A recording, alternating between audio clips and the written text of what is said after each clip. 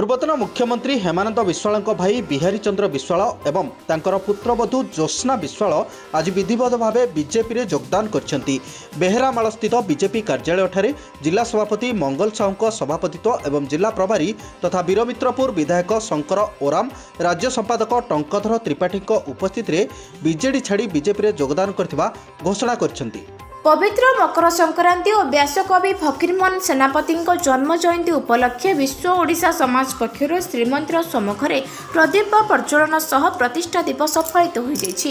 ଜିଲ୍ଲା ପ୍ରତିନିଧି ମସୁଦନ ମିଶ୍ରଙ୍କ ଆହ୍ୱାନ କ୍ରମେ ଓଡ଼ିଶା ସମାଜର ବରିଷ୍ଠ ଉପଦେଷ୍ଟା ବଦ୍ରେ ମିଶ୍ର ଆନ୍ତର୍ଜାତିକ ବାଲୁକା ଶିଳ୍ପୀ ମାନସ ସାହୁ ସାମ୍ବାଦିକ ସୀମାଞ୍ଚଳ ପାଢ଼ୀ ଡକ୍ଟର ଶରତ ମହାନ୍ତି ସାମ୍ବାଦିକ ଅକ୍ଷୟ ମିଶ୍ର ଯୋଗଦାନ କରିଥିବା ବେଳେ ଶ୍ରୀକ୍ଷେତ୍ର ମାଟିରେ ବିଭିନ୍ନ ସ୍ଥାନରେ ବିଶ୍ୱ ଓଡ଼ିଶା ସମାଜର ପ୍ରତିଷ୍ଠା ଦିବସ ଅବସରରେ ଆଇ ଲଭ୍ ବିଶ୍ୱ ଓଡ଼ିଶା ସମାଜର ଫ୍ଲାଗ କାର୍ଡ ନେଇ ଏକ ଭିନ୍ନ ଏକ ବାର୍ତ୍ତା ପ୍ରଦାନ କରିଥିଲେ ଢେଙ୍କିଆରେ ଚାଲିଛି କି ତାଲିବାନୀ ଶାସନ ଜନତା ଖାଇଲେ ନିର୍ଦ୍ଧୁମ ମାଡ଼ ସେପଟେ ଲୁଚିଲେଣି ନେତା ଢେଙ୍କିଆରେ ଚାଲିଛି ଏବେ ତାଲିବାନୀ ଶାସନ ଅଞ୍ଚଳବାସୀଙ୍କୁ ପିଟି ପିଟି ଲହୁ ଲୁହାଣ କରିଛି ପୋଲିସ ଭୟରେ ତାଟି କବାଟ ପକାଇ ଦେଲେଣି ଗ୍ରାମବାସୀ। କେତେଜଣଙ୍କୁ ପୋଲିସ ଗିରଫ କରିଥିବା ବେଳେ ଆଉ କିଛି ଗୁରୁତର ଅବସ୍ଥାରେ ପଡ଼ି ରହିଛନ୍ତି। ଏପଟେ କିନ୍ତୁ ନେତା ମନ୍ତ୍ରୀଙ୍କ ଦେଖା ଦର୍ଶନ ନାହିଁ ଯାହାକୁ ନେଇ ଅସନ୍ତୋଷ ଗ୍ରାମବାସୀ। ରାଜ୍ୟରେ ଗତ କିଛି ଦିନ ଧରି ଚାଲିଥିବା ଅଦିନିଆ ବର୍ଷା ଆଜି କମିଯାଇଛି। ଫଳରେ ରାଜ୍ୟର ବିଭିନ୍ନ ସ୍ଥାନରେ ଆଜି ପାଣିପାଗ ଖରାଟିଆ ରହିଛି। ବର୍ଷା କମିବା ପରେ ରାଜ୍ୟରେ ଶୀତ ବଢ଼ିବ ବୋଲି ଆଞ୍ଚଳିକ ପାଣିପାଗ କେନ୍ଦ୍ର ପକ୍ଷରୁ ସୂଚନା ଦିଆଯାଇଛି। ଆଞ୍ଚଳିକ ପାଣିପାଗ କେନ୍ଦ୍ର ପକ୍ଷରୁ ଜାରି ବୁଲେଟିନରେ କୁହାଯାଇଛି ଯେ ରାଜ୍ୟରେ ଆସନ୍ତା କିଛି ଦିନ ପ୍ରବଳ ଶୀତ ଅନୁଭୂତ ହେବ ତିନି ଦିନ ପର୍ଯ୍ୟନ୍ତ ସର୍ବନିମ୍ନ ତାପମାତ୍ରା ତିନିରୁ ପାଞ୍ଚ ଡିଗ୍ରୀ ପର୍ଯ୍ୟନ୍ତ ହ୍ରାସ ପାଇବ। ପରବର୍ତ୍ତୀ କିଛି ଦିନରେ ବି ଶୀତ ପ୍ରଭାବ ଜାରି ରହିବ।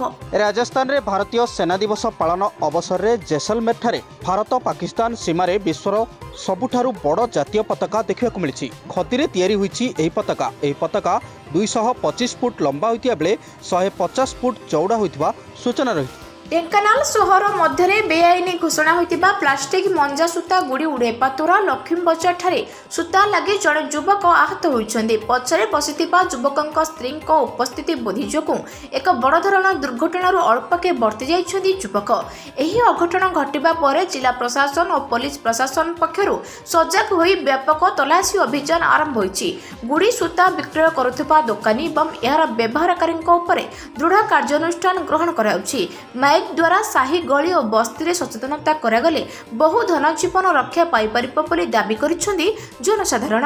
ଭାରତୀୟ ସ୍ଥଳସେନା ପାଳୁଛି ଆଜି ଚଉସ୍ତରୀତମ ପ୍ରତିଷ୍ଠା ଦିବସ। ଏହି ଅବସରରେ ବୀର ଶହୀଦମାନଙ୍କୁ ସେନାର ବୀର ଯବାନଙ୍କୁ ସମ୍ମାନ ଜଣାଇଛନ୍ତି ତିନି ସେନାର ମୁଖ୍ୟ। ସ୍ଥଳସେନା ମୁଖ୍ୟ ଜେନେରାଲ ମନୋଜ ମୁକୁନ୍ଦ ନରୱଣେ ବାୟୁସେନା ମୁଖ୍ୟ air chief marshal Vivek Ram Chaudhari ଓ ନୌସେନା ମୁଖ୍ୟ ଆଡମିରାଲ ଆର୍. ହରିକୁମାର ଦିଲ୍ଲୀସ୍ଥିତ ଜାତୀୟ ସମର ସ୍ମାରକୀ ଯାଇ ବୀର ଯବାନମାନଙ୍କୁ ସମ୍ମାନ ଜଣାଇଛନ୍ତି। ଅନୁଗୁଳ ଜିଲ୍ଲା ବଅଁରପାଳ ବ୍ଲକ ଅନ୍ତର୍ଗତ ଜୁରାଗାଡ଼ିଆ ଗ୍ରାମର ସୀମା ତଥା ଟାଟା ଷ୍ଟିଲ୍ କାରଖାନା ପାର୍ଶ୍ୱରେ ଠିଆ ହୋଇଥିବା ଯାତ୍ରୀବାହୀ ଅଟୋ ପୋଡ଼ି ପାଉଁଶ ହୋଇଯାଇଛି। ସୂଚନା ଅନୁଯାୟୀ ନୂଆହତା ପଞ୍ଚାୟତର ତାଳବାହାଳ ଗ୍ରାମର ଗୋପାଳ ନାୟକ ନିଜ ଯାତ୍ରୀବାହୀ ଅଟୋକୁ ନେଇ ଟାଟା ଷ୍ଟିଲ୍ କାରଖାନା ନିକଟରେ ରଖି ପାଖରେ ଥିବା ଏକ ଦୋକାନରେ ଠିଆ ହୋଇଥିଲେ। କିଛି ସମୟ ପରେ ଅଚାନକ ଅଟୋର ସମ୍ମୁଖ ଭାଗ ଧୂଆଁ ବାହାରୁଥିବା ସହ ହୁତୁ ହୁତୁ ହୋଇ ଚଳିଥିଲା। ଏହା ଦେଖି ଚତୁଃପାର୍ଶ୍ୱରେ ଥିବା ଲୋକମାନେ ଟାଟା ଷ୍ଟିଲ୍ କାରଖାନାକୁ ଫୋନ୍ କରି ଜଣାଇବା ପରେ ଘଟଣାସ୍ଥଳରେ ଟାଟା ଷ୍ଟିଲ୍ ଦମକଳ ବାହିନୀ ପହଞ୍ଚି ଅଗ୍ନିକାଣ୍ଡକୁ ନିୟନ୍ତ୍ରଣ କରିଥିବା ସୂଚନା ମିଳିଛି। ପଞ୍ଚାୟତ ନିର୍ବାଚନ ନେଇ ଆଜି ନିର୍ବାଚନ ଆୟୋଗ ଏବଂ ପ୍ରଶାସନିକ ଆଲୋଚନା ହୋଇଛି। ଜିଲ୍ଲାପାଳ ଏବଂ ଏସ୍ପିଙ୍କ ସହିତ ସିଧାସଳଖ ଆଲୋଚନା କରିଛନ୍ତି ରାଜ୍ୟ ନିର୍ବାଚନ ଆୟୋଗ ଆଦିତ୍ୟ ପ୍ରସାଦ ପାଢ଼ୀ। ଦୁଇଟି ପର୍ଯ୍ୟାୟରେ ଆଲୋଚନା ହୋଇଥିବା ବେଳେ କୋଭିଡ୍ ସ୍ଥିତିକୁ ଦୃଷ୍ଟିରେ ରଖି ସ୍ୱାସ୍ଥ୍ୟ ଏବଂ ଆଇନ ଶୃଙ୍ଖଳା ପରିସ୍ଥିତିକୁ ଗୁରୁତ୍ୱ ଦିଆଯାଇଛି। ଏଥିସହିତ ସ୍ଥିତିକୁ ଦୃଷ୍ଟିରେ ରଖି ନିର୍ବାଚନ ଆୟୋଗ ଗାଇଡ୍ଲାଇନ୍ରେ କିଛି ପରିବର୍ତ୍ତନ କରାଯିବ ବୋଲି କହିଛନ୍ତି।